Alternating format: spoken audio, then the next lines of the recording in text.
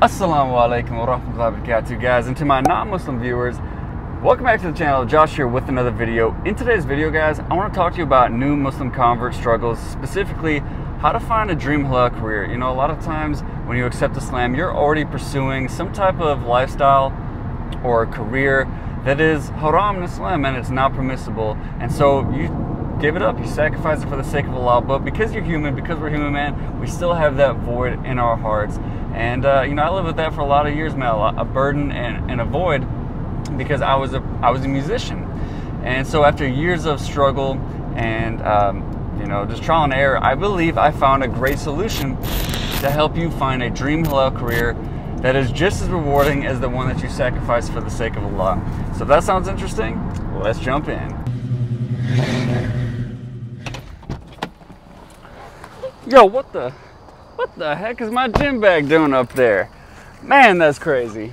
All right, guys, well, the very first thing that you need to do in order to pursue and find your dream halal career is, dude, you have to actually make sure that the career that you're in right now is actually haram.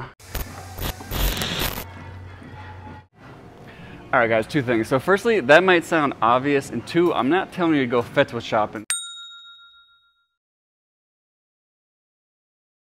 If someone tells you that something's haram, I'm not telling you to go find something that uh, you know appeals to your desires. What I am saying though is that there are horror stories of people who've accepted Islam and they were told by their local imam or by a brother or sister in the masjid or whoever that what they're doing is haram. And because they don't know, because you know they're a new Muslim and they want to do good, they just take it as like, okay, this person is an imam, they're a person of knowledge. They should know what they're talking about. So they leave it for the sake of Allah only to find out years later that it wasn't haram after all. You know, and a lot of these people, man, they sacrifice, they put in so many years of dedication and commitment, and just to throw it all away unnecessarily. You've heard so many horror stories of like, you know, a professional skateboarder who accepts Islam and then is told that what he's doing is haram, dude.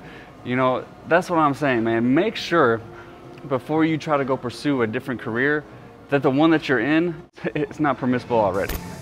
Guys, the next step might require a little bit of reflection and some deep thinking, man, because I want you to make a list of everything. I mean, just write every single thing that you can think of of why you love that career that you left. Why were you so passionate about it? Maybe you're like me and you can relate that as a musician, I love the ability to be able to create without boundaries. I had no limits. The only limits that I had were my own personal skill level. Other than that, man, I could write anything that I wanted. Maybe you, for you it's collaborations or athleticism or competition or maybe it's creativity like me. Whatever it is, write as many things as you down. Get as detailed as you possibly can because this is really gonna help you with the following steps. Guys, do not worry. I have not gone full blown on you just yet. I'm still about that powerlifting life. We're just doing a little bro stuff, a little bis and tris, man, just to mix things up a bit because I never do this stuff. But aside from that, man, the next step I want you to take is think about any current or past hobbies that you believe have similar qualities um, and that are similar of similar interest, right? So once you make that list of everything that you loved about that passion that you gave for the sake of Allah, that career that you gave up, if you look at either current hobbies or past hobbies, you're probably going to find a lot of similarities, and maybe some of those current or past hobbies aren't haram, and you could possibly re-pursue those. That's just another example. So I'm just gonna go ahead and warm up with this. Ain't nothing, uh, you know, too impressive. Uh, just kidding.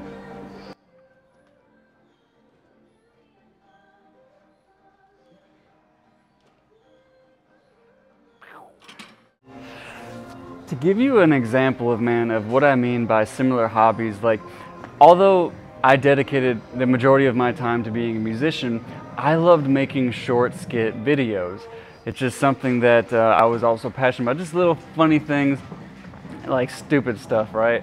And it allowed me, it was just another avenue, another vehicle for me to be creative, you know, and all the things that I think about in my life, like I wanted to, at one point I wanted to pursue being a freestyle motocross racer, right? So the guys who were doing the backflips and the kisses of death and all those different things, right?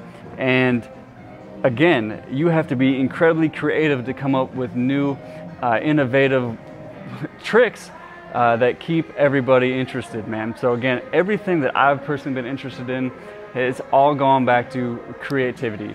So think about the hobbies and the different passions and interests that you have, and I guarantee you're gonna find a lot of similarities and possibly find something that is not haram at all and that you can actually pursue and you're already naturally inclined towards it.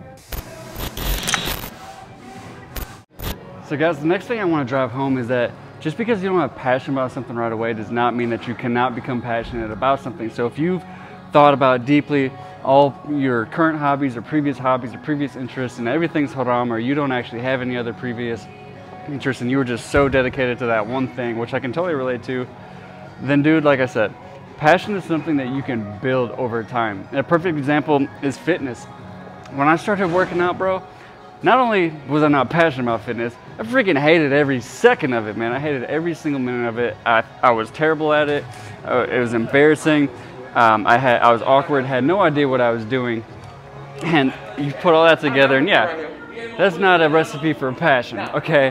But over time, I stayed I stayed committed to it. I was making gains, making progress, and not only did I not become uh, not only did I become passionate about it, I've kind of become borderline obsessed with fitness at this point and getting as strong as I possibly can.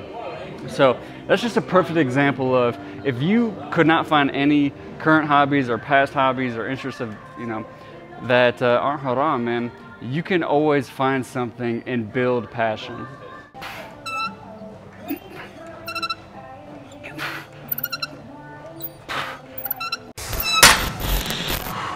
Guys, the next point I want to drive home is, dude, keep searching, never stop. Seek Allah's help because, dude, I started YouTube in November of last year. So I accepted Islam eight years ago. That means for about six years, I didn't know what to do, man. But I never gave up, right? I never stopped seeking a new passion, something that I could replace musician, uh, guitar and being a musician with that gave me the same outlet of creativity and impact uh, that I wanted and that I pursued through music, right?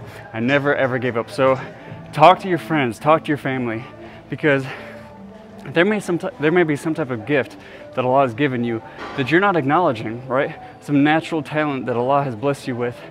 But to you, it's just, oh, that's just who you are.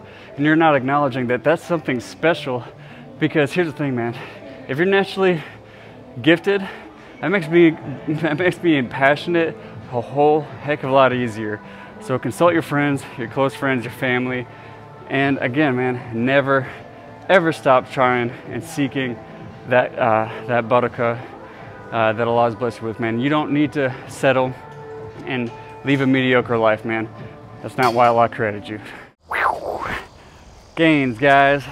So man, those are the five tips that I have for you guys today five different ways that you can find your dream halal career, man. I really hope that that's been helpful.